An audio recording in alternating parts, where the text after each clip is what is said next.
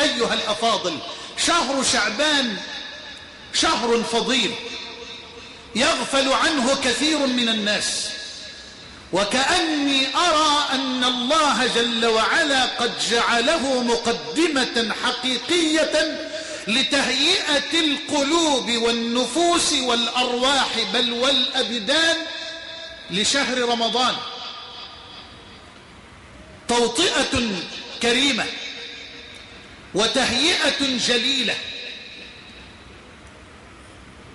تقبل فيه على رمضان إقبالا يليق بمكانة الشهر المعظم. تهيئ فيه نفسك للصيام. كان صلى الله عليه وسلم يكثر من الصيام في رمضان. حتى ورد في رواية في صحيح البخاري كان رسول الله يصوم رمضان يصوم شعبان كله ولفظت كله كما يقول علماء الأصول خرجت مخرج الغالب أي غالب أيام هذا الشهر الفضيل. يقيد هذا النص المطلق هذا النص المقيد أو المقيد في صحيح مسلم كان رسول الله صلى الله عليه وسلم يصوم شعبان إلا قليلا. وأنت الآن في أول أيام الشهر الفضيل. فعاهد ربك من الآن على أن تقبل على هذه العبادة العظيمة وعلى أن تجدد الأوبة والتوبة وأن تحرص من أول أيام الشهر أن تستعد استعدادا خاصا لآخر هذا الشهر الذي سترفع فيه الأعمال إلى الله. فهل يا ترى هل أعددت من الأعمال ما تسعد أن يرفع في آخر هذا الشهر إلى الله؟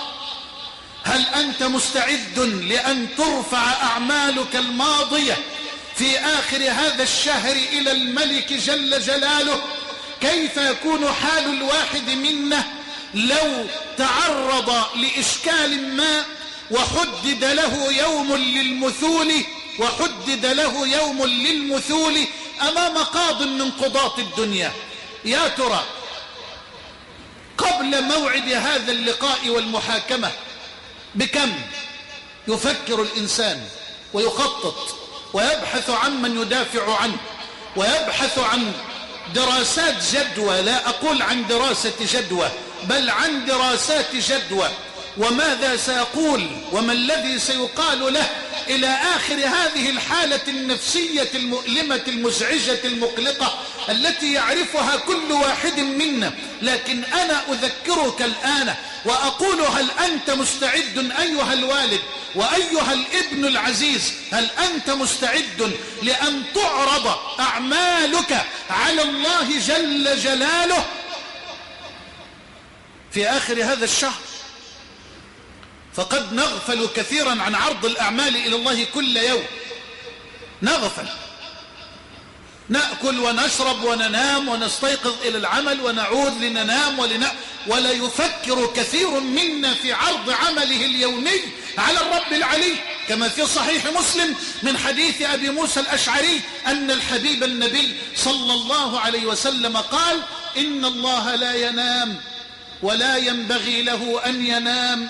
يخفض القسط ويرفعه يرفع إليه عمل الليل قبل عمل النهار وعمل النهار قبل عمل الليل. هل تفكرت في هذه؟ يرفع إليه عمل الليل قبل عمل النهار وعمل النهار قبل عمل الليل.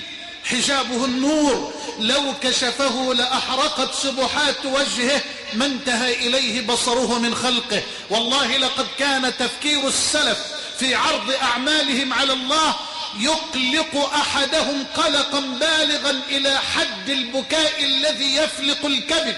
ولكن لقسوة القلوب إلا من رحم علام الغيوب صار التذكير بعرض الأعمال على مالك الملك وملك الملوك لا يحرك إلا قلوبا قليلة تمتلئ بجلال الله وخشية الله وتعظيم الله. أسأل الله أن